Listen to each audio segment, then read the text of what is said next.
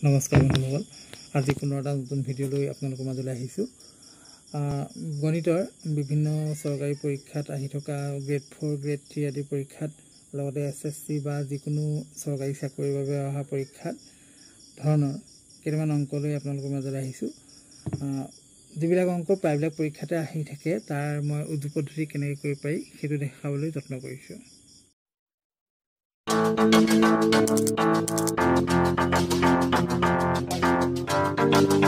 প্ৰথম প্ৰশ্ন ভিডিঅ' স্ক্ৰীণত দেখা পাইছে কোন সংখ্যাৰ চাৰিভাগৰ তিনিৰ মানটো ওঠৰ হ'ব। এইটো এনেকুৱা সংখ্যা আহিলে এনেকুৱা অংক আহিলে আমি অপশ্যনৰ পৰা কৰিবলৈ অলপ প্ৰব্লেম হয়। কোন সংখ্যাৰ চাৰিভাগৰ তিনি অংশ? প্ৰত্যেক শব্দৰ গণিতত গুৰুত্ব আছে সংখ্যা ৰ ৰ মানে পূৰণ। গতিকে পূৰণ হ'বলৈ হ'লে সংখ্যাটো যদি আমি এক্স ধৰোঁ শ্বৰ্টকৈ কৰি দিছোঁ দীঘল নহয়। সংখ্যাটো এক্স ধৰিছোঁ। এক্সৰ ৰ মানে পূৰণ চাৰিভাগৰ তিনি। এইটো সমান ওঠৰ দিয়া আছে এইটো। গতিকে এক্স আছে ইনটু হৈ পেলাই চাৰিভাগৰ তিনি আছে ইফালে গ'লোঁ ওঠৰ। ওঠৰলৈ গ'লে এইটো চাৰিভাগৰ তিনিটো লুটিয়াই দিলেই হ'ল। ইয়াত চাৰিটো তলত আছে এইফালে গ'ল চাৰিটো ওপৰলৈ গ'ল তলত তিনি হ'ল। তিনি ওঠৰ কাটিলোঁ ছবাৰ গ'ল। এয়া ছয় পূৰণ চাৰি চৌব্বিছ। শুদ্ধটোতো হ'ব অপশ্যন বি চৌব্বিছ। আকৌ ওলোটাকৈও দেখাইছোঁ চৌবিছৰ চাৰিভাগৰ তিনি সেইটো। চৌবিছৰ চাৰি আজি চৌবিছৰ কাটো ছবাৰ গ'ল ছয় তিনি গুণ ওঠৰ। শুদ্ধটো হ'ব চৌবিছ। আৰু দুই নম্বৰ প্ৰশ্নলৈ আহিছোঁ। শূন্য আঠ তিনি দুই এই চাৰিটা অংক দিয়া আছে ইয়াত শূন্য আঠ তিনি দুই। সেইকেইটাৰে গঠিত আটাইতকৈ সৰু চাৰিটা অংকৰ সংখ্যাটো বুলি কৈছে। এটা অতি গুৰুত্বপূৰ্ণ কথা কিয়? আগত শূন্যটো আছে শূন্যটোক আমি অংক বুলি ধৰোঁ যদিও। আমাক প্ৰশ্নটোত কৈছে চাৰিটা অংকৰ সংখ্যা। চাৰিটা অংক বুলি ক'লে আমি যদি চিৰিয়েলি ক্ৰমান্বয়ে সৰুৰ পৰা ডাঙৰ নিওঁ four two three eight zero' two three eight zero' two three eight ইয়াত আছে অপশ্যনে এইটো কিন্তু শুদ্ধ নহ'ব। কাৰণ জিৰ'টো সংখ্যাৰ আগত ধৰিলে আমি জিৰ'টো চাৰিটা অংকত নধৰে। তেতিয়াহ'লে ইয়াত শুদ্ধটো হ'ব জিৰ'টো আগত থাকিব নালাগিব তেনেকৈ চালে টুটো এটাকৈ সৰু সংখ্যা জিৰ'ক বাদ দিলে তাৰপিছত জিৰ' দিব লাগিব তাৰপৰা থ্ৰী তাৰপৰা এইট টু জিৰ' থ্ৰী এইটটো হ'ব। আটাইতকৈ সৰু সংখ্যাটো এইটো অপশ্যন বিটো কুৱেশ্যন নম্বৰ তিনিলৈ আহিছোঁ। এটা বস্তুত পোন্ধৰ শতাংশ লোকচান হ'লে বেচা দাম আৰু কিনা দামৰ পাৰ্থক্য উলিয়ালে কৈছে। পোন্ধৰ শতাংশ লোকচান বুলি কৈছে। শতাংশৰ অৰ্থ আমি জানো এশ। এশৰ ভিতৰত পোন্ধৰ মানে কিনা দামটো আমি এশ টকা ধৰি লৈছোঁ। একদম সহজে হ'ব এতিয়া। কিনা দাম যদি এশ টকা হয় পোন্ধৰ শতাংশ লোকচান মানে কম দামত বেচিছে তেতিয়াহে লোকচান হ'ব। তেতিয়া বেচা দাম হ'ব। এশৰ পৰা পোন্ধৰ বিকিলোঁ পোন্ধৰ পাৰ্চেণ্ট লোকচান বুলি কোৱাৰ কাৰণে যিকোনো সংখ্যাই দিয়া থাকিব পাৰে। পোন্ধৰ দিয়াৰ কাৰণে মই এশৰ পৰা পোন্ধৰ বিয়োগ কৰিছোঁ। এশৰ পৰা পোন্ধৰ বিয়োগ কৰিলে হ'ব পঁচাশী। মানে কিনা দাম হ'ল এশ টকা বেচা দাম হ'ল পঁচাশী টকা তেতিয়া লোকচান হ'ব। এশৰ পৰা পাৰ্থক্য মানে আগতে ভিডিঅ'ত কৈছোঁ পাৰ্থক্য মানে বিয়োগ ফল গতিকে এশৰ পৰা পোন্ধৰ পঁচাশী বিয়োগ কৰিলে উত্তৰটো পোন্ধৰ ওলাব। শুদ্ধটোতো হ'ব অপশ্যন চিটো চাৰি নম্বৰ প্ৰশ্ন এটা একে দামৰ ক'লা কলমৰ দাম পোন্ধৰ টকা হ'লে তেনেকুৱা কিমানটা ৰঙা কলমৰ দাম ক'লা কলমৰ দামৰ বৰ্গ হ'ব? মানে প্ৰশ্নটো কনফিউজ লাগিবলৈ অকণ বেলেগকৈ দিছে। একে দামৰ ক'লা কলমৰ দাম মানে আমি প্ৰশ্নটোৰ পৰা গম পাইছোঁ ক'লা কলমৰ দাম আৰু ৰঙা কলমৰ দাম সমান। আৰু তাতে আমাক কৈছে এটা ৰঙা ক'লা কলমৰ দাম পোন্ধৰ টকা। ক'লা কলমৰ দামৰ বৰ্গ মানে ক'লা কলমৰ দাম পোন্ধৰ টকা পোন্ধৰৰ বৰ্গ মানে ফিফটিন স্কোৱাৰ ফিফটিন স্কোৱাৰ মানে পোন্ধৰৰ পূৰণ পোন্ধৰ দুশ পঁচিছ হ'ব। দুশ পঁচিছটো কেনেকৈ ওলালে? পোন্ধৰৰ লগত পোন্ধৰ পূৰণ কৰিলোঁ। কেতিয়াবা আমি গম পাইছোঁ ৰঙা কলমৰ এটা ৰঙা কলমৰ দাম প্ৰশ্নতে দিয়া আছে। এটা ৰঙা কলমৰ দাম পোন্ধৰ টকা সেইটো। গতিকে পোন্ধৰটা ৰঙা কলমৰ দাম দুশ পঁচিছ টকা হ'ব অপশ্যন এইটো শুদ্ধ হ'ব। প্ৰশ্ন বস্তু। এটাৰ কিনা দাম এহেজাৰ টকা আৰু লাভ দহ শতাংশ। বেচা দামৰ আধা উলিয়াবলৈ কৈছে। কিনা দাম এহেজাৰ টকা দিয়া আছে লাভ দহ শতাংশ মানে এইবাৰ বেচা দামটো বেছি। লাভ হৈছে বুলি কৈছে। লাভটো উলিয়াই লৈছোঁ এহেজাৰ টকা কিনা দাম পূৰণ দহ শতাংশ মানে এশ ভাগৰ দহ। কৈছিলোঁ শতাংশ বুলি ক'লে এশত পৰে।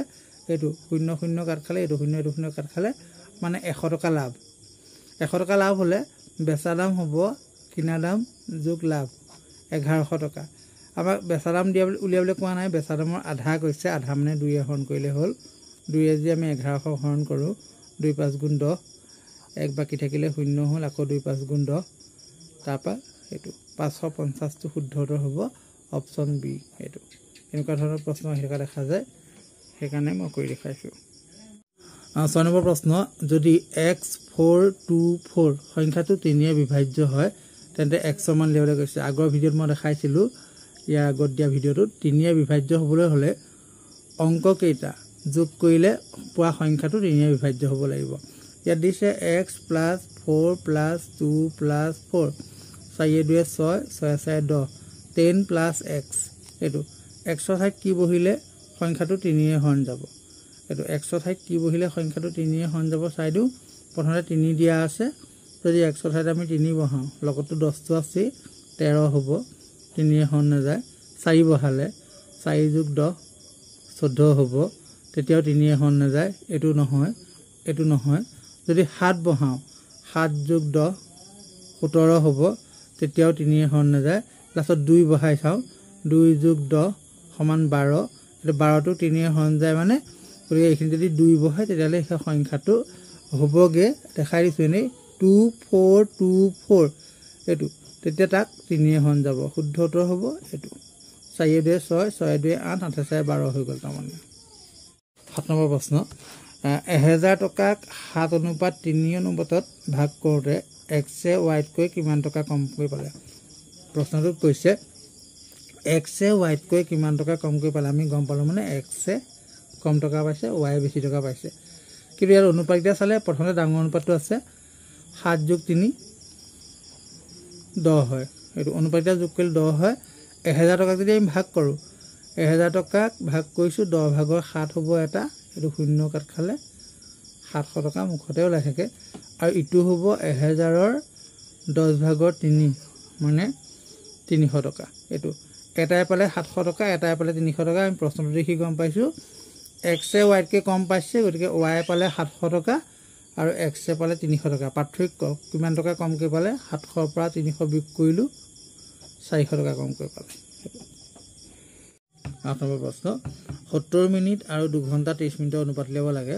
সত্তৰ মিনিট অনুপাত উলিয়াওঁতে আমি এককেইটা একে কৰিব লাগে। এইটো আছে মিনিটত এইটো ঘণ্টাটো আছে লগত মিনিট এটা সোমাই আছে মানে আঢ়ৈ ঘণ্টা। সত্তৰ মিনিট এয়া সত্তৰ মিনিট। তাৰপিছত দুঘণ্টা এঘণ্টাত ষাঠি মিনিট এয়া দুঘণ্টাত হ'ব দুই পইণ্ট ষাঠি। লগত ত্ৰিছ মিনিট এটা এক্সট্ৰাকৈ আছে কাৰণে এইটো প্লাছ কৰিছোঁ। দুই পইণ্ট ষাঠি এশ বিছ লগত ত্ৰিছ যোগ কৰিছোঁ এশ পঞ্চাছ মিনিট। মানে দুঘণ্টা ত্ৰিছ মিনিটত ডেৰশ মিনিট এইটো মুখতো ওলায়। এই অনুপাত উলিয়াবলৈ কোৱাৰ কাৰণে সত্তৰ মিনিট সত্তৰটো আগত পাতিছোঁ এয়া লগত ডেৰশ আছে ওৱান ফিফটি অনুপাত উলিয়াওঁতে খালি আমি কটা দি গ'লে কটা দি কৰোঁ ইয়াত শূন্যটো কাট খাব। এইটো উত্তৰটো হ'ব সাত অনুপাত পোন্ধৰ। এইটো সাত অনুপাত পোন্ধৰ অপশ্যন চিটো শুদ্ধ উত্তৰ হ'ব। এইখিনিতে এটা কথা কৈছোঁ। মোৰ এজন ষ্টুডেণ্ট আছে ৰিংকু হাজৰিকা খুব সুন্দৰ ছবি আঁকে।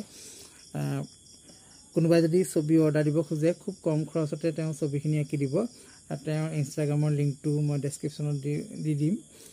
যদি কোনোবা ইচ্ছুক তেন্তে তেওঁলোকক কণ্টেক্ট কৰিব পাৰিব। কুৱেশ্যন নম্বৰ নলৈ আহিছোঁ। যদি এ প্লাছ বি এইটটি আৰু এ মাইনাছ বি ফৰ্টি হয় তেন্তে ইয়াৰ কোনটো শুদ্ধ সুধিছে A greater than B A less than B A equal to B আৰু এটাও শুদ্ধ নহয় কৈছে। এতিয়া আমাক কৈছে এ আৰু বি যোগ কৰিলে আশী হয়।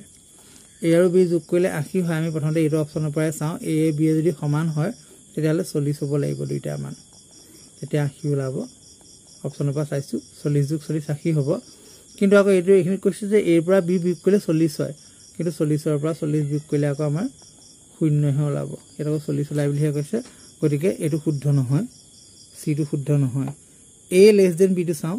এ লেছ দেন বি যদি এ বিতকৈ সৰু হয় তেতিয়াহ'লে কৰি দেখালে হ'ব। এ লেছ দেন বি হ'লে এৰ পৰা বি বিয়োগ কৰিলে ফৰ্টি ওলাব নোৱাৰে। কিয়নো যদি সৰু সংখ্যা এটাৰ পৰা আমি ডাঙৰ সংখ্যা এটা বিয়োগ কৰোঁ তেতিয়া সদায় মাইনাছত ওলাব উত্তৰটো। গতিকে শুদ্ধটোতো হ'ব এইটো এ গ্ৰেটাৰ দেন বি আৰু শুদ্ধটো কি হ'ব কৈছোঁ? এ মান ছিক্সটি হ'ব বি মান টুৱেণ্টি হ'ব। তেতিয়া এ বি এ যোগ কৰিলে এইটটি হ'ব আৰু এৰ পৰা বি বিয়োগ কৰিলে ফৰ্টি ওলাব। শুদ্ধতৰ হ'ব এ গ্ৰেটাৰ দেন বি এইটো শুদ্ধতৰ হ'ব। অপশ্যন এইটো কুৱেশ্যন নম্বৰ টেন এটা সমদ্বিবাহু ত্ৰিভুজৰ ক্ষেত্ৰত তলৰ কোনটো সত্য সুধিছে?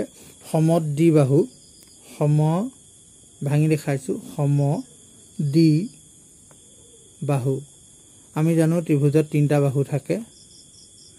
তিনিটা বাহু। সম মানে অৰ্থটো সমান ডি মানে দুটা বাহু। মানে সমদ্বিবাহু ত্ৰিভুজৰ অৰ্থ হৈছে যাৰ যিটো ত্ৰিভুজৰ যিবিলাক ত্ৰিভুজৰ দুটা বাহু সমান হয় তেনে ত্ৰিভুজটো হ'ব সমদ্বিবাহু ত্ৰিভুজ। এতিয়া যদি আমি এ বি চি ত্ৰিভুজৰ এইডাল বাহু সমান ধৰোঁ যিটো আমাৰ সমদ্বিবাহু বুলি কৈছে এইডাল বাহু সমান গতিকে সেইডাল বাহুৰ বিপৰীত কোণ দুটাও সমান হ'ব? এ বিৰ বিপৰীত কোণ বুলি ক'লে সন্মুখৰ কোণটো এইটো চি আৰু এ চিৰ বিপৰীত কোণ বুলি ক'লে সন্মুখৰ কোণটো বি হ'ব? মানে বি এ চি এ সমান হ'ব। মানে আমি গম পালোঁ সমদ্বিবাহু ত্ৰিভুজৰ দুটা বাহু যেতিয়া সমান হয় দুটা কোণো সমান হয়। যদি সমবাহু দিলেহেঁতেন তিনিটা বাহু সমান হ'ব তেতিয়া তিনিটা কোণো সমান হ'ব। ইয়াৰ গতিকে দুটা বাহু সমান শুদ্ধ উত্তৰ দুটা কোণ সমান এইটো শুদ্ধ। গতিকে চিটো অপশ্যনটো শুদ্ধ হ'ব কাৰণ কিয় এ আৰু বি দুয়োটা শুদ্ধ বুলি কৈছে। এও শুদ্ধ বিও শুদ্ধ। কুৱেশ্যন নম্বৰ ইলেভেন চাৰিভাগৰ তিনি শতাংশত প্ৰকাশ কৰিলে হ'ব চাৰিভাগৰ তিনি শতাংশত প্ৰকাশ কৰা মানে লগত এশ এটা পূৰণ কৰি দিব লাগে। একদম সৰু কাম। চাৰিভাগৰ তিনি পূৰণ এশ। চাৰিৰে এশ কাটিলোঁ। চাৰিৰে এশ পঁচিছ বাৰ যায়। তিনি পূৰণ পঁচিছ। তিনি পূৰণ পঁচিছ মানে পঁয়সত্তৰ শতাংশ। এইটো হ'ব শুদ্ধ উত্তৰ অপশ্যন বি। আজিৰ শেষৰ প্ৰশ্নলৈ আহিছোঁ। Thirty minus seven minus twenty three minus fifteen minus forty plus sixty is equal to কিমান? এইটো আগৰ ভিডিঅ'ত মই কৈছিলোঁ বদমাছৰ মতে হয়। বদমাছৰ কিন্তু ইয়াত অকল মাইনাছ আছে আমি চিনখিনি দেখিছোঁ মাইনাছ আছে আৰু প্লাছ আছে। মাইনাছ আৰু প্লাছ থাকিলে আমি ইমান প্লাছৰ কাম আগতে কৰিব লাগিব বুলি কোনো কথা নাই।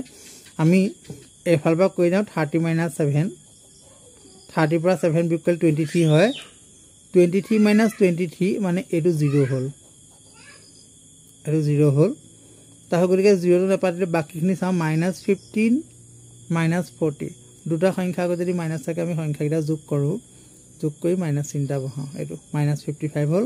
লগত আছে প্লাছ ছিক্সটি এতিয়া minus fifty five plus sixty মানে আনচাৰটো হ'ব ফাইভ কাৰণ মাইনাছে প্লাছে মাইনাছ মানে সংখ্যাটা বিয়োগ কৰা হয়। ষাঠিৰ পৰা পঁচপন্ন বিয়োগ কৰিলোঁ পাঁচ। ডাঙৰ সংখ্যাটোত প্লাছ চিন আছে গতিকে প্লাছ হ'ল। শুদ্ধতৰ হ'ব অপশ্যন ডি যদি ভিডিঅ' চাই ভাল পালে লাইক কৰিব কমেণ্ট কৰিব শ্বেয়াৰ কৰিব। লগতে যিসকল নতুন দৰ্শকে মোৰ ভিডিঅ'টো চাইছে তেওঁলোকে মোৰ ভিডিঅ'টো মানে মোৰ চেনেলটো ছাবস্ক্ৰাইব কৰিব বুলি আশা কৰি আজিলৈ ভিডিঅ'টো সামৰিছোঁ। ধন্যবাদ।